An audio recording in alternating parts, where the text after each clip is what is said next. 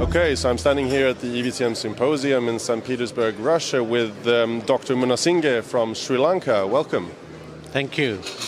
Uh, so, uh, Dr. Munasinghe, um, in, in America, for example, at level one trauma centers, uh, they use a lot of Reboa. They're very used to a lot of trauma.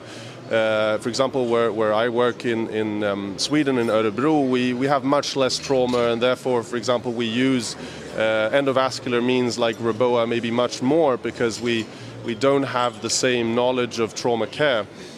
Uh, what do you believe is the, the role of, of endovascular procedures such as Reboa um, for trauma care in, in Sri Lanka? Yeah. We had a lot of trauma cases some time ago, but uh, during last 10 years we didn't have any major trauma cases other than the road traffic accident. But now again it's emerging. I think there's a big place in Sri Lanka for Reboa. We don't have Reboa at the moment. That is why we came here. We read lot of things about Reboa and we thought it's going to be a good play, good uh, mode of intervention in our trauma patient. That's why we decided to come here to see what's happening and how we can apply that in Sri Lanka, how feasible that is in Sri Lanka. And what do you think? What have you learned so far from, from being here? How, how do you believe it can be uh, maybe implemented in Sri Lanka? Yes, there is a group of patients.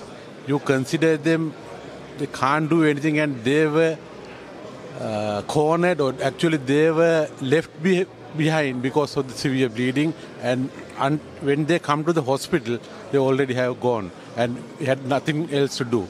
But that group, I think this is the best solution to start Reboa and temporarily occlude the bleeding and let the surgeon handle after that. Uh, so you think it's mainly uh, to be used as an in-hospital procedure? Do you think maybe pre-hospital it also has a role to play? Yeah, I'm a military man, so we believe pre-hospital care very much, and we have planned. I don't know how successful is that. We want to form a team of Reboa, the mobile team of Reboa, as and when it is required. We are planning to move and start job. And, who do you believe should be performing Reboa in Sri Lanka? Should it be uh, trauma surgeons, uh, military personnel? No, it's actually a team effect. In Sri Lanka, we are the first respondent in any trauma, whether it's a natural disaster or man-made disaster. So we have military team, we have surgeons, uh, anesthetists, interventional radiologists, intensivists. That team should take over this job and do the job. I, I totally agree with you. It's um, a multidisciplinary. It's a multidisciplinary uh, approach. yeah. Um, so uh, you have the, the uh, Sri Lankan Surgical Congress uh, coming up this autumn.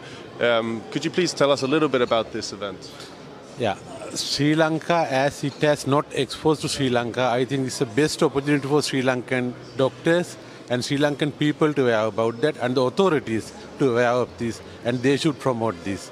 And the Sri Lankan surgeons, intensivists and the emergency care physician, they should be have some idea, the basic idea what Reboa is and they should have interest to learn this. I am definite that they will come and learn this and it's going to be a good place. And uh, you were telling us that the reason why you came here to St. Petersburg in Russia uh, was to learn more about Reboa to, to, implement it in Sri Lanka. What, what do you think about the, the symposium so far? It's very good, it's very well organized, and so far the exposure we had, yes, there are positive things we can get, and we can carry forward those things to Sri Lanka. Okay, so thank you very much for participating in this interview, and uh, this was uh, from uh, Dr. Munasinghe here at the EVTM Symposium in St. Petersburg, Russia.